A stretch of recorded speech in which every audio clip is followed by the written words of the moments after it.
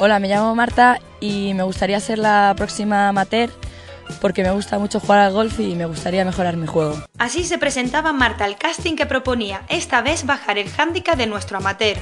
Entre los tres candidatos que se disputaban el puesto, ella fue la elegida. Después de pensarlo mucho, mi decisión, son redoble de tambores, es Marta. Rápidamente Jaime se puso manos a la obra para conseguir el reto que le había planteado el programa, conseguir que el hándicap de Marta pasara de 27,8 a 20. Durante los seis meses que han transcurrido desde entonces, Marta ha demostrado que es una alumna aventajada. Poco a poco te van cambiando un poquito tu swing, tu forma de dar a la bola y poco a poco vas mejorando en esos aspectos y, me está pareciendo muy buena experiencia, estoy aprendiendo yo creo que lo que más he mejorado ha sido en el juego corto.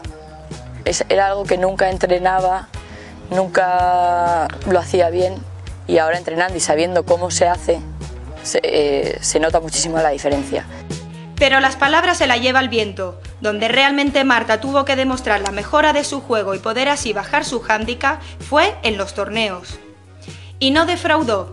En su primer campeonato, un pitch and pad que se celebró en el campo de las rejas, nuestra amateur se quedó como estaba.